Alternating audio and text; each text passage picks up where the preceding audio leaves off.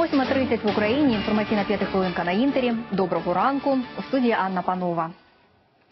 Аварія на Одещині. Цієї ночі поблизу села Єреміївка на трасі Київ-Одеса пасажирський мікроавтобус, що перевозив дев'ятьох молдаван, зіткнувся із вантажівкою. Восьмеро людей постраждали. З різними травмами їх доправили до лікарні. Триває слідство. В Одесі повалилася стіна триповерхової будівлі. Попри те, що будівля аварійна і не житлова, люди все-таки там були. Ночувати в помешкання прийшли п'ятеро безхатченків.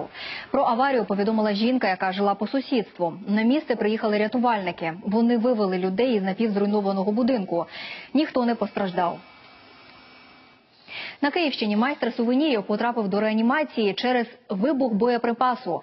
Чоловік удома виготовляв із мін та гранат сувеніри, які потім продавав замовникам по всій країні. Під час огляду його житла оперативники вилучили понад сотню боєприпасів, дві авіаційні бомби, оптичні приціли та предмети, схожі на детонатори. За такий арсенал чоловікові загрожує від трьох до семи років за ґратами. У Києві знову горіло авто. Власник машини переконаний, підпалили навмисно. Так, мовляв, йому помстилися за виграний суд. Вогонь ухопив автівку на світанку. Власник стверджує, перед тим як вона запалала, бачив, як від неї відбіг незнайомець. Чоловік кинувся гасити полум'я, але марно. Рятувальники теж впоралися не одразу. Навіть спеціальна піна не допомагала. Причини пожежі наразі з'ясовують експерти та правоохоронці. Сам автовласник у підпалі підозрює керівництво розважального закладу. Він судився з ними через те, що вони незаконно прорубали в будинку чорний хід для ресторану. Усі обставини тепер має з'ясувати міліція. У Коростенській виправній колонії посадовці не віддавали зарплати арештантам. Міжрайонна прокуратура провела розслідування і з'ясувала, що кілька службовців привласнили понад 700 тисяч гривень.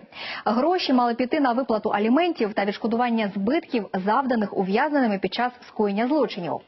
Справу з обвинувальними висновками вже передали до суду. Відпрацьовували антитерористичні дії, а затримали наркоділка. На Хмельниччині спецбатальйон внутрішніх військ під час навчань помітив підозрілого мопедиста. Чоловік віз на багажнику величенький поліетиленовий мішок. Правоохоронці його зупинили, щоб перевірити документи. Коли звернули увагу на багаж, водій залишив документи і втік. Даний громадянин, е, тікаючи від них, викинув цей пакет на місце, яке знаходиться позаду нас. Розкривши даний пакет, в ньому виявилися речовини рослинного походження, зеленого кольору е, з ознаками підсушення. Експертиза показала, у пакунку було 2 кілограми сушених конопель. Зілля, зізнався порушник, виростив удома і віз до міста на продаж. Спеціально обрав маршрут глухими стежками і не думав, що зустріне тут міліціонерів. За виготовлення та поширення наркотиків затриманому загрожує до 5 років ув'язнення. На Донеччині люди з обмеженими можливостями отримали водійські посвідчення. Перший на Донбасі клас для автонавчання інвалідів відкрили три місяці тому. Весь цей час десятеро учнів проходили підготовку і цими днями складали іспити. Для них спеціально обладнали не тільки приміщення, а й машини, на яких вони відточували свою водійську майстерність. Тепер для кожного з них починається новий етап життя за кермом.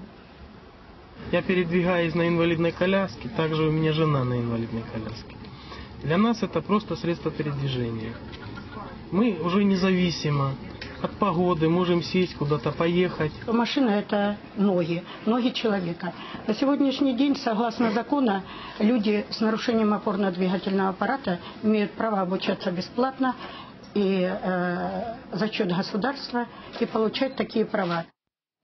Наступного тижня у столиці обіцяють відкрити нову станцію метро Теремки. За словами голови КМДА Олександра Попова, там майже все готово. Тож кінцеву станцію Коренівської червоноармійської лінії мають запустити 6 листопада у день визволення Києва. Будувати її почали два роки тому. Цьогоріч у серпні на станцію пустили перший пробний потяг. Радіємо за мешканців району Теремки. Можливо, колись і до Троєщини нарешті дійде підземний транспорт. А у нас ці шляхи ведуть до підсумку ранку о 9 Аню, ще півгодини глядачі зустрічатимуть із тобою.